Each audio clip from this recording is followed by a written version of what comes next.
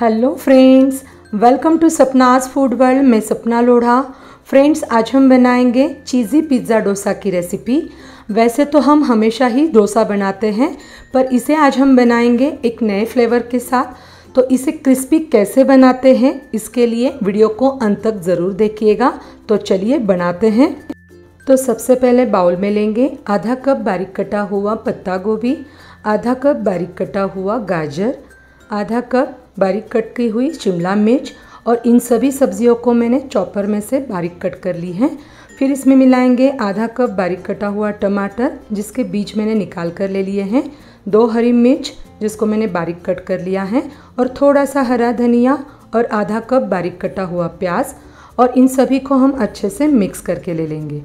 सब्जियों को आप कम ज़्यादा भी कर सकते हैं। आपको जो सब्ज़ियाँ ज़्यादा पसंद हैं, वो सब्ज़ियाँ इसमें आप ज़्यादा ले सकते हैं। यहाँ पर हमारा स्टफिंग तैयार है। अब करते हैं डोसा की तैयारी। तो यहाँ पर हमारा गैस पर पैन भी अच्छे से गर्म हो गया है। फिर इसमें मिलाते हैं दो बड़े चम्मच डोसा बैटर। और ये नॉर्मल वाला डोसा बैटर है, जो हम हमेशा डोसा के लिए बनाते हैं। फ्रेंड्स डोसा अच्छे से क्रिस्पी हो जाए, इसके लिए मैंने डोसा बैटर में आधा कप पोहा को अच्छे से भिगोकर फिर बारीक कर कर बैटर में मिलाया है। अब डोसा सेट होने के बाद इसके ऊपर लगाएँगे बटर और बटर लगाने से ये डोसा एकदम क्रिस्पी और टेस्टी बनेगा। तो इसके ऊपर लगाएँगे रेडीमेड पिज़्ज़ा सॉस और इसे हम अच्छे से स्प्रेड करके ले लेंगे।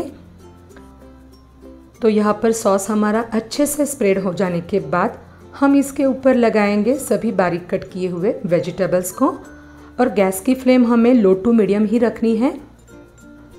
वेजिटेबल्स को अच्छे से हमें मिलाकर और फिर दबाकर हमें सेट करके ले लेना है।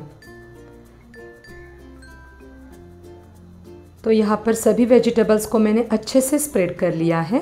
अब अब ऊपर से मिलाते हैं प्रोसेस चीज़, जिसको मैंने ग्रेट करके ले लिया है। और चीज़ हमें थोड़ा सा ज़्यादा ही लेना है। फिर इसके ऊपर मिलाएँगे रेड चिली फ्लेक्स और थोड़ा सा मिक्स हर्ब्स, जिससे ये डोसा एकदम पिज़्ज़ा स्टाइल बनेगा। और इसे हम दो से तीन मिनट के लिए मीडियम टू हाई फ्लेम पर होने देंगे।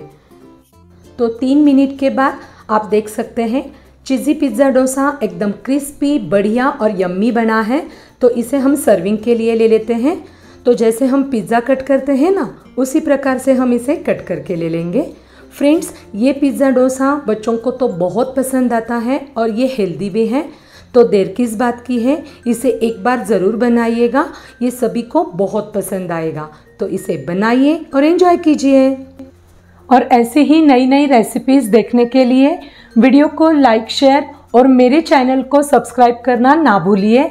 और हाँ आपको मेरी ये रेसिपी कैसी लगी, ये कमेंट करके ज़रूर बताइए। तो फ्रेंड्स मिलते हैं एक नई रेसिपी के साथ। तब तक के लिए ईट हेल्दी स्टे हेल्दी